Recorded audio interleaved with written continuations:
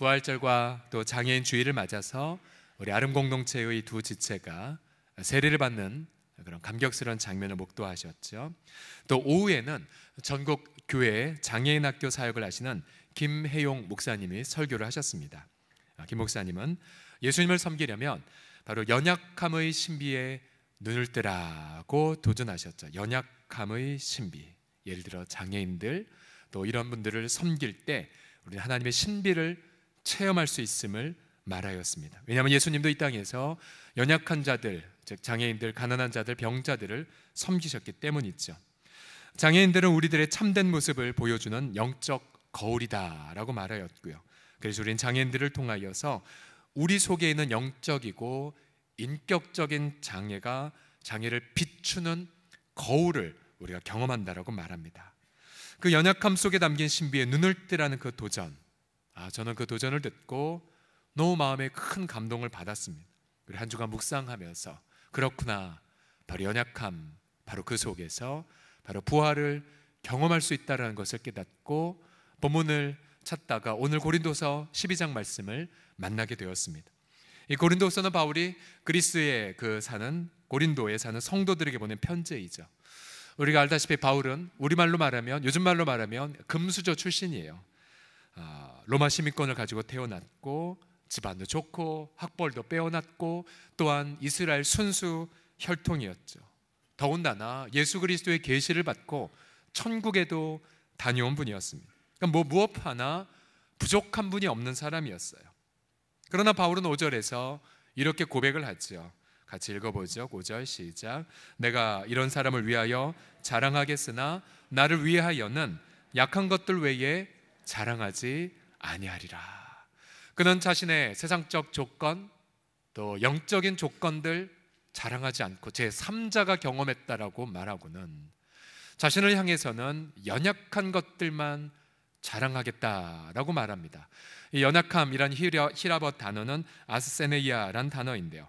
육체의 질병을 자랑하겠다는 것이고 또 인생의 고난과 괴로움, 또 무능함 등을 자랑하겠다는 고백이죠.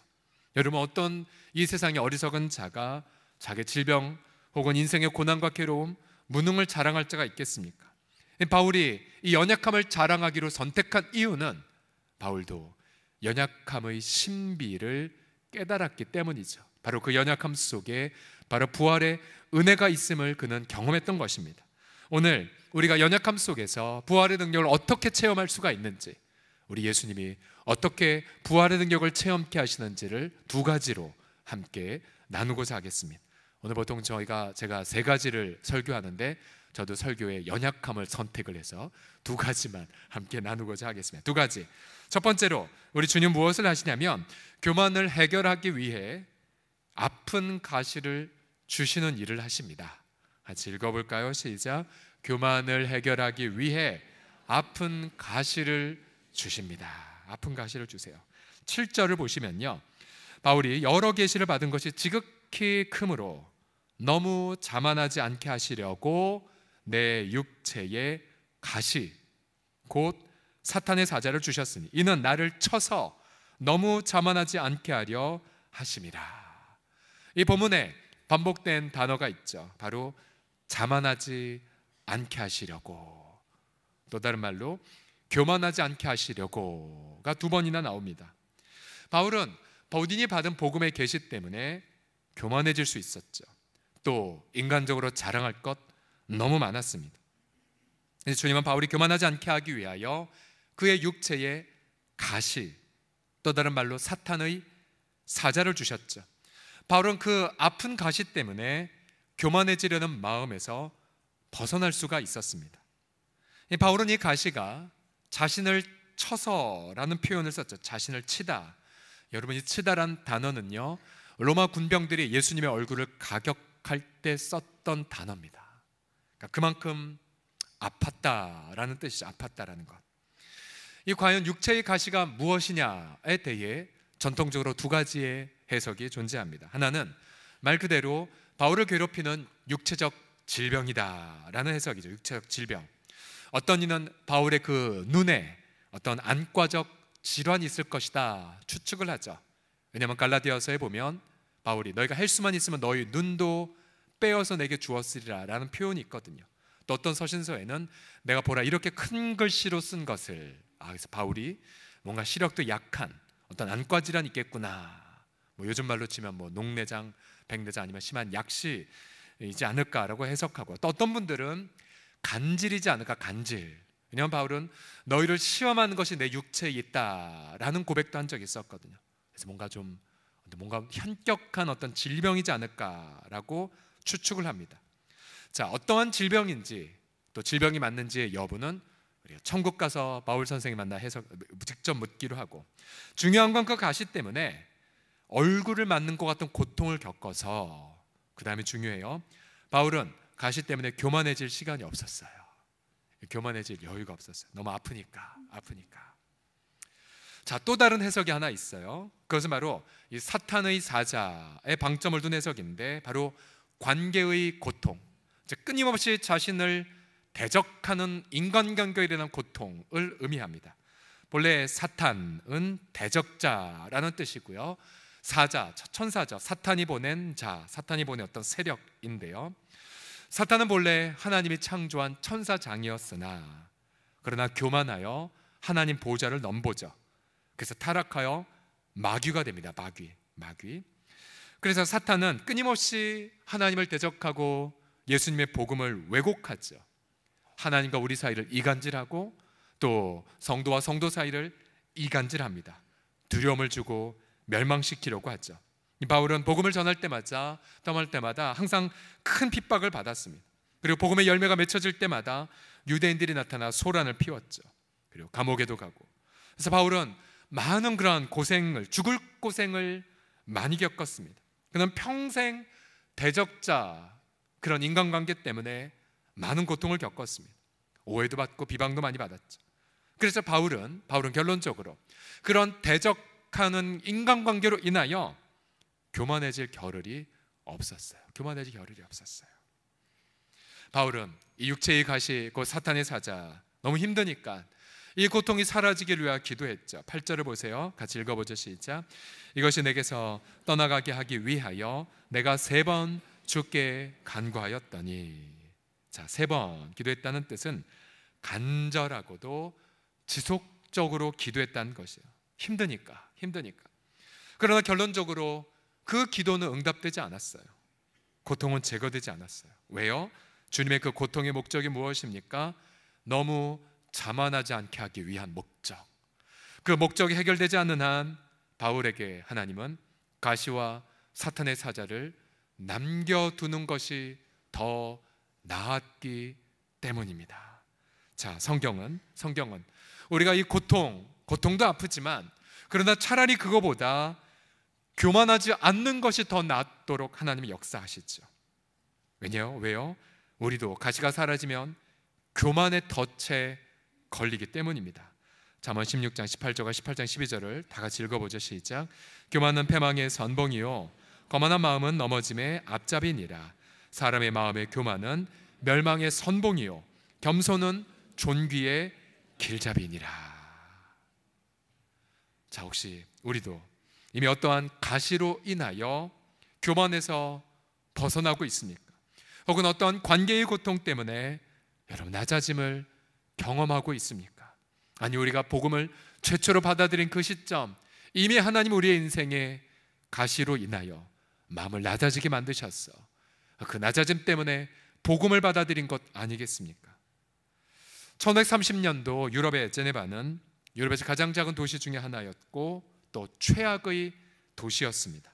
도시의 거리는 쓰레기와 인분, 토사물로 뒤덮여 있었고 또한 범죄자, 정치 난민, 용병, 간첩, 창녀, 거지들로 가득 찼으며 타락한 사제들은 바로 매음굴마저도 운영을 했었습니다.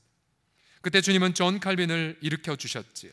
칼빈은 종교개혁자의 아버지, 또 우리 장로교단의 또 아, 그런 모델인 이 칼빈이 그리스도의 복음을 성경을 통해 깨닫고는 자신의 심장을 즉시 그리고 진심으로 드린다는 유명한 고백 속에 하나님의 절대 주권을 선포하기 시작했죠. 그래서 모든 직업이 하나님의 부르심입니다라는 것을 전파했습니다. 그래서 남성들로 하여금 가정을 돌보십시오. 술 취하지 마십시오. 열심히 일하시고 재정적으로 책임을 지고 11조를 내고 또한 저축을 하라고 가르쳤습니다.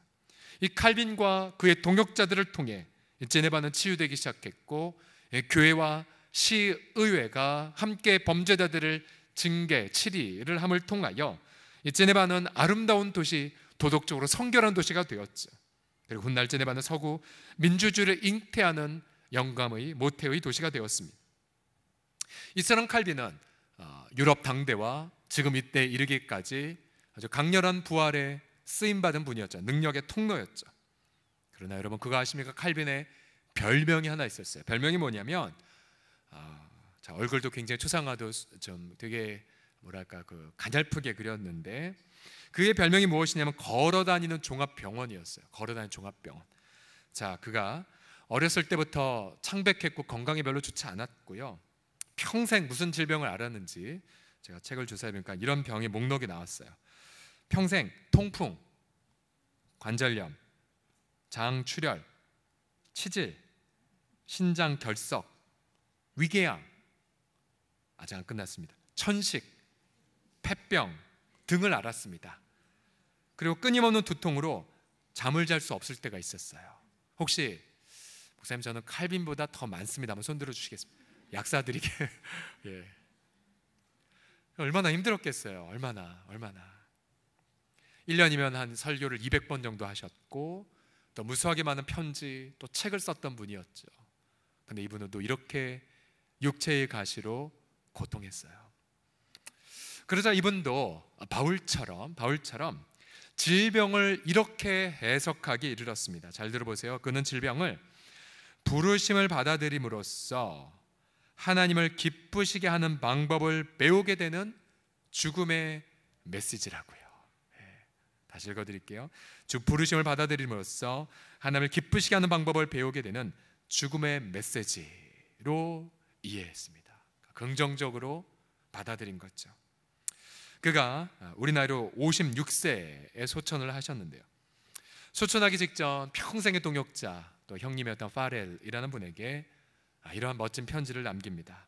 나는 숨을 쉬기가 어려우며 매 순간이 내가 숨쉬는 마지막이 될 수 있다고 여깁니다. 내가 그리스도를 위해 살았다는 것만으로도 충분합니다. 그리스도는 그를 따르는 모든 자에게 그분은 사나 죽으나 유익하기 때문입니다. 라고 고백을 했습니다. 그리고 유언을 남겼죠. 자신의 무덤에 아무 표시도 하지 말아 주세요. 아무도 자신을 성인으로 그렇게 숭배하길 원치 않았기 때문이죠. 그는 오직 그리스도만 높아지기를 열망해서 지금도 그의 무덤으로 추정되는 한 무덤이 제네바의 공동묘지 한쪽 구석에 저렇게 놓여져 있습니다. 사랑하는 성도님들, 바울만 지극히 큰 계시를 받아 사탄의 가시를 허락받은 게 아니에요. 여러분 저희도 바울과 같은 지극히 큰 계시를 이미 받은 것 아십니까? 바울이 받은 계시와 환상을 성경을 통해 다 용례를 살펴보니 특별한 게 아니었었어요. 모두 다 다 예수 그리스도의 계시였었어요. 예수 그리스도의 계시. 자, 저와 여러분이 얼마나 위대한 계시를 받았는지 제가 증명해 볼게요. 자, 보세요. 자, 여러분. 저와 여러분은 만물의 창조자가 누구인지 계시 받았습니다. 그쵸? 그리스도. 또한 우리 만물의 상속자가 누구인지도 계시 받았어요. 성경을 통해. 누구입니까? 예수 그리스도. 또한 우리는 그 그리스도가 이 땅에 오셔서 십자가에 너무나 연약하게 되어 돌아가셨지만 그러나 그 십자가를 통해 바로 그가 우리의 죄를 용서해 주셨고 우리를 하나님의 아들 딸들로 입양하여 주셨으며 우리를 영원한 상속자로 삼으신 것도 성경을 통해 계시받았어요. 또한 그리스도는 부활하셔서 하늘 보좌를 오르시사 우리를 위해 지금도 기도하고 계시다는 것을 우리는 압니다. 또 우리는 주님이 하시는 한 날에 주님이 오셔서 열방을 심판하는 것도 성경을 통해 알아요. 저와 여러분 이처럼 엄청난 것을 계시받았어요. 계시받았어요. 그래서 여러분 우리도 예수 그리스도의 복음을 받아들이는 그 순간 주님 우리의 교만을 제거하기 시작을 하세요. 아니 그 전에 복을 받아들이기 전 이미 하나님 우리의 마음 속에 사탄의 사자오 육체의 가시를 통하여서 낮아진 마음을 주셨고 그 낮은 마음 통하여서 그리스도의 십자가를 받아들이게 하지 않았습니까? 주님은 우리의 교만을 꺾으시기 시작했어요. 왜요? 저와 여러분 모두 다 뼛속 깊이 교만한 자로 태어났기 때문이에요. 하나님 안중에 두지 않죠. 권위에 무릎 꿇지 않습니다. 내 생각, 내 주장을 절대화시키죠. 그래서 주님은 나의 교만을 꺾기 위해 이미 육체의 가시를 주셨고요. 사탄의 사자를 보내셨습니다. 여러분 왜 우리가 어떤 고통 때문에 힘들어서 열심히 기도했는데 왜 응답이 없는 것처럼 보일까요? 우리가 신앙생활 잘하기로 결단했는데 왜 어려운 일이 생길까요? 여러분 그것은 여러분이 잘못 믿었기 때문이 아니라 바로 교만하지 말라고 주신 하나님의 허용적인 선물이에요. 바로 우리로 낮은 마음을 품고 십자가의 주님만을 신뢰하기 위하고 위해서 보내주신 응답입니다. 응답. 물론 고난, 고통 그 자체는 우리 하나님의 본심이 절대 아니에요. 주님은 절대로 가학자가 아니시거든요. 예레미야가 3장 33절 굉장히 중요한 구절인데 읽어보겠습니다. 시작. 주께서 인생으로 고생하게 하시며 근심하게 하심은 본심이 아니로다. 예. 본심이 아니시래요. 즉 주님은 우리가 육체의 가시와 사탄의 사자로 고통할 때마다 함께 어떻게 하세요? 아파하세요. 아파하세요. 아비가 자기 자녀 아프면 아파하는 것처럼 주님도 함께 눈물 흘리시고 우리가 고난 중에 낙심하지 않도록 기도해 주시죠. 그래서 마침내 우리가 낮아짐의 은혜 속에서 겸손히 십자가만을 붙잡을 그때까지 우리 주님은 간절한 마음으로 우리를 위하여 기도하고 계십니다. 아, 오늘 하루 온종일 주일날 집에 가시기 전 자신을 진지하게 성찰해 보십시오. 나는 과연 주님 앞에서 겸손한 자로 있는가? 나는 과연 주님 앞에 바짝 엎드려 있는가? 아니 여전히 세상적인 것들 또 심지어 영적인 것들을 자랑하며 잘난 체하고 있는가? 저는 우리 교회 모든 식구들이 육체의 가시와 사탄의 사자를 허락하신 주님의 깊은 눈물의 그 마음을 깨달으시고 주님 앞에 바짝 엎드려 있는 우리 모두가 되기를 주의 이름으로 간절히 축원합니다. 옆 사람 보며 이렇게 다짐할까요? 바짝 엎드려 있겠습니다라고요. 시작. 바짝 엎드려 있겠습니다. 예, 예, 그게 정답이에요. 바짝 엎드려 있겠습니다. 마지막으로 부활의 능력을 체험하기 위해 주님이 하신 일이 무엇이냐면 다 같이 따라합시다. 연약함을 자랑하게 하십니다. 시작. 자, 8절을 보세요. 바울이 이것이 내게서 떠나가게 하기 위하여 내가 세번 죽게 간구하였더니 하나님 이렇게 말씀하셨어요. 나에게 이르시기를 내 은혜가 내게 족하단다. 이는 내 능력이 약한 데서 여러분 왜 주님의 능력이 약해진 것처럼 보여요? 주님은 당장이라도 육체의 가시 해결하실 수 있잖아요. 주님은 당장에 사탄의 사자 없앨 수 있잖아요. 그러나 주님은 자신의 능력을 나타내지 않으시고 즉 당신의 능력은 약해지고 그러나 그걸 통해 바울은 겸손함의 성숙을 즉 온전함을 이룰 수가 있었다는 고백이에요. 이는 내 능력이 약한 데서 온전하여 짐이라. 즉 그 연약함 속에서 바로 부활의 능력을 강렬히 그가 경험했다는 말씀이에요. 바울이 과연 어떠한 부활의 능력을 경험했겠습니까? 겉보기에는 육체의 가시, 또 그의 인생은 사탄의 사자로 가득한데 어째 그의 인생의 부활의 능력을 나타낸다고 말할 수 있겠습니까? 우리도 종종 이런 착각을 하죠. 내가 재정적으로 약하고 사회적 지위도 연약하고 내가 이루었던 것 너무나 미약한데 내가 어째 부활의 능력을 나타낼 수 있습니까? 라고 고개 숙인 분들이 있어요. 그러나 보세요. 사도 바울은 겉보기에는 부활의 능력이 없어 보여도 그의 내면 안에는 기쁨이 강렬하게 일어났죠. 그가 감옥 안에 갇혔지만 감옥 때문에 오히려 복음이 더 증거되는 것으로 인하여 기뻐했지요. 또 감옥 안에서 복음을 증거했더니 오네, 시모와 같은 결신자도 감옥에서 얻었지요. 또 본인의 감옥에 있을 때 어떤 사람은 자기 사랑함으로 위로한 분도 있었고 어떤 사람은 자기를 괴롭게 하려고 악의적인 소문을 냈는 분도 있었지만 결과적으로 예수의 이름이 더 증거되게 그는 더 한없이 기뻐할 수 있었습니다. 자신은 육체적으로 약했지만 자신을 통해 수많은 이들이 치유가 되었고 자신을 통해 수많은 이들이 귀신에서 노임을 받았죠. 자신을 통한 수많은 이들이 영혼의 해답을 얻은 그 감격. 그는 일평생 그 연약함 속에서도 바로 그리스도의 부활의 능력을 제한 없이 경험했고 그리스도의 부활 능력을 제한 없이 흘려 보낼 수가 있었습니다. 그래서 바울은 중요한 비결을 깨달았죠. 9절 하반절부터 10절까지를 큰 소리를 읽겠습니다. 시작. 그러므로 도리어 크게 기뻐함으로 나의 여러 약한 것들에 대하여 자랑하리니 이는 그리스도의 능력이 내게 머물게 하려 함이라. 그러므로 내가 그리스도를 위하여 약한 것들과 능력과 궁핍과 박해와 곤고를 기뻐하노니 이는 내가 약한 그때의 강함이라. 할렐루야. 바울은 더 이상 자신의 약함을 감추지 않았습니다. 그 얼마나 아팠고 얼마나 모욕을 당했고 얼마나 배고팠고 얼마나 고생했고 얼마나 재앙을 많이 겪었는지를 숨기지 않았어요. 세상 사람들은 약점 말하면 공격하죠. 손가락질하고 무시하죠. 그러나 바울은 자신의 연약함을 자랑할수록 그리스도의 그 능력이 더 강렬히 드러나는 것을 체험했죠. 바울은 선포합니다.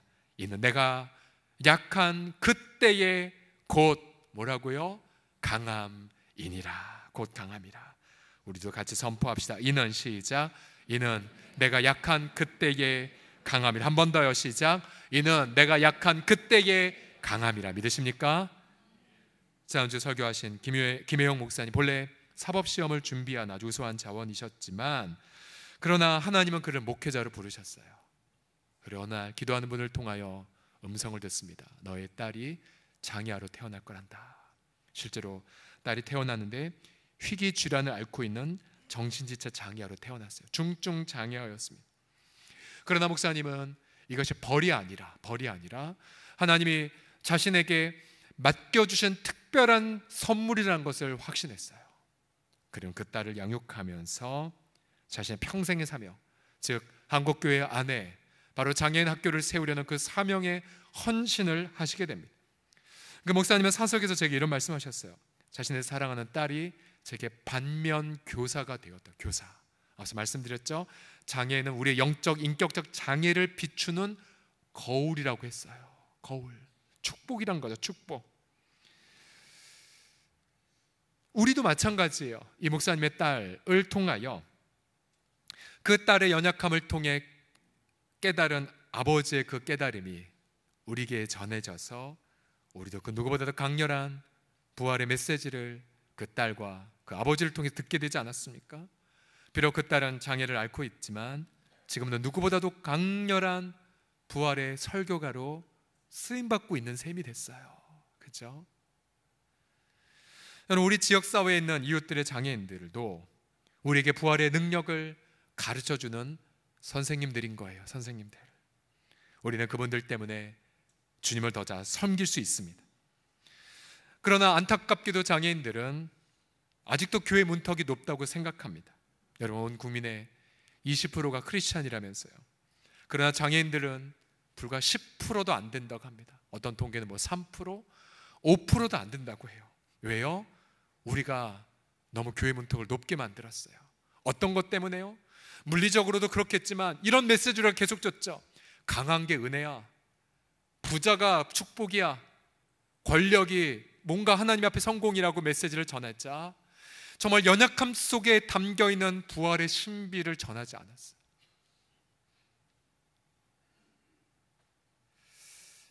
지난주에 김영 목사님 이런 말씀도 하셨죠. 한국 교회가 양적으로 성장하는 그 타이밍에 우리가 메시지가 번영주의 신학적으로 흘렀죠. 그러다 보니 교회 안에서 장애인들이 소외되기 시작했어요. 그리고 장애인들은 자신들만의 교회를 세우기 시작했습니다. 그렇게 되자 한국 교회가 장애인들과의 동행을 포기하자 결국 한국 교회는 약해지기 시작했다라는 통찰을 나눠 주셨죠. 아 그렇구나. 바로 연약함의 신비에 눈을 뜨는 것에 진영 한국 교회에 해법이 있다는 걸 깨닫고 며칠 동안 계속해서 큰 도전과 많은 것들을 묵상할 수 있었습니다. 우리가 자랑할 연약함이 있다면 또한 무엇이 있을까요? 그것은 바로 나이 들어감입니다. 나이 들어감. 물론 세상 사람들은 나이 들어감을 결코 반기지 아니하죠. 육체의 기력에 쇠잔해지고 또 정신의 힘이 혼미해져 가는 것. 여러분 누가 반기겠습니까? 그러나 성경 시편은 우리에게 이렇게 말하고 있죠. 시편 92편 14절을 다 같이 읽겠습니다. 시작. 그는 늙어도 여전히 결실하며 진액이 풍족하고 빛이 청청하니. 자 보세요. 성도가 절대 늙지 않는다는 말이 아니에요. 그렇죠? 여러분 내년에 주름살 하나 더 드실 수 있고 우리도 세잔이 져요. 세잔을 가요. 그러나 놀라운 것이 무엇이 뭐냐면 성도는 비록 나이를 들어가도 내적인 열매는 어떻게 됩니까? 더 풍성해진대요. 더 풍성해진대요. 자, 예를 들어 우리 어르신들이 지팡이 잡고 혹은 전동 스쿠터를 의지하며 힘이 힘겹게 예배당에 오시죠. 오시면서 힘드셔서 자리에 앉아 다시 추스리시고 다시 힘겹게 오시죠. 근데 그 연약한 몸으로 물론 과거에는 정말로 주방에서 날아다니셨겠고 힘차게 봉사하셨던 분이지만 지금은 그렇게 못 하잖아요. 그러면 그거 아세요? 그 연약한 몸으로 예배당에 와서 딸 짧은 말이지만 아버지 저 왔어요. 아버지 주님을 높입니다. 그리고 내나살길 얼마 안 남았지만 내 남은 인생 전도 열매 맺으며 살겠습니다. 여러분 그 한 문장의 고백 한 마디가 젊은이들의 백 마디의 기도보다 더 위력 있는 것 아십니까? 저 지난주에 깨달았어요. 우리 시니어 어르신들의 많은 귀한 사역 중에 바로 위로의 사역이 있다는 거, 위로의 사역.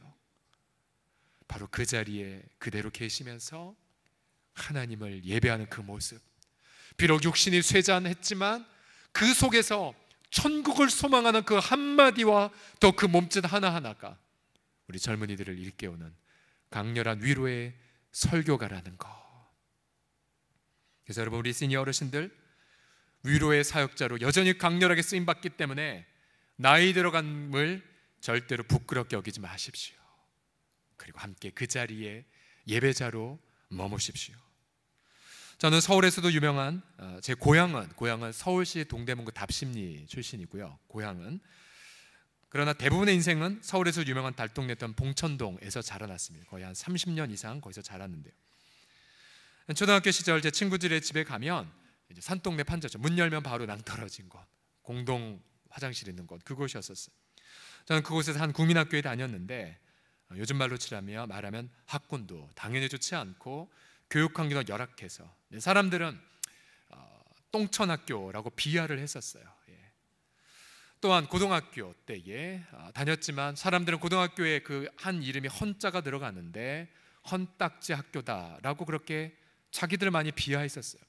그 당시 많은 사회 지도층들은 그 위장 전입을 통해 학군 좋은 곳으로 많이 갔던 그런 시기였었었죠. 놀라운 사실은 여러분 그 동네 저는 그 동네 출신인 게 절대 부끄럽지 않습니다. 왜요? 저는 그 동네에서 예수님을 만났기 때문에 그래요. 예수를 만났기 때문에.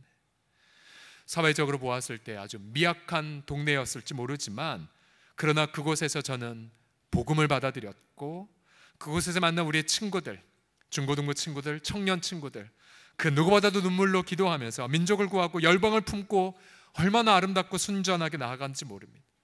우리는 그 연약함 속에서 황금보다 더 귀한 믿음을 훈련받았죠.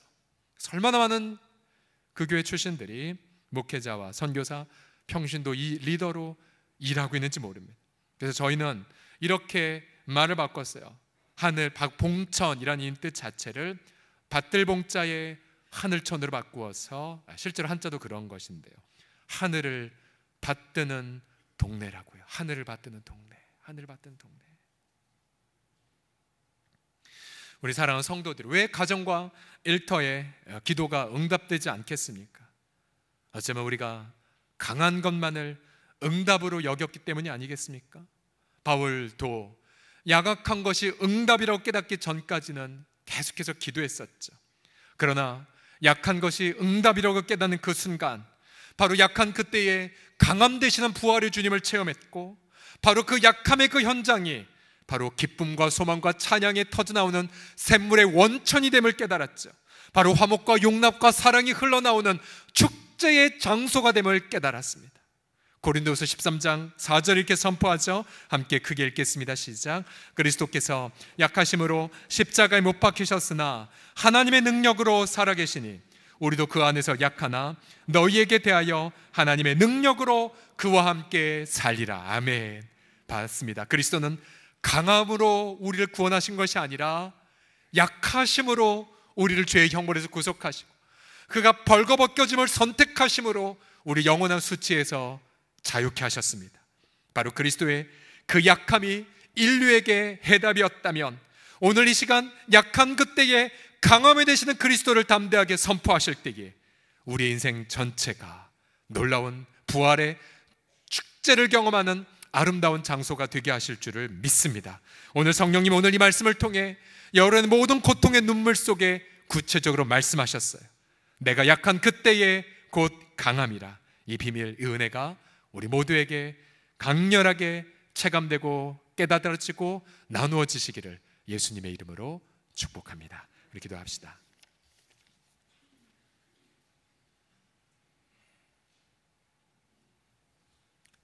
부끄러웠고 감추고 싶고 하나님 왜입니까? 라고 호소했던 아픔이 오히려 나의 교만의 과제를 해결하는 연단의 선물이고 또한 마침내 그 연약함 속에 그토록 사모하는 주님의 얼굴이 숨겨 있음을 인해 감사와 찬양을 올리나이다. 약함이 부끄럽지 않은 공동체, 아버지 미약함이 아버지 하나님의 수치가 되지 않은 그 공동체, 이 공동체 우리를 불러주심을 송축하나이다. 우리를 받아주사 부활을 부활의 그 능력을 체험하게 하여 주옵소서.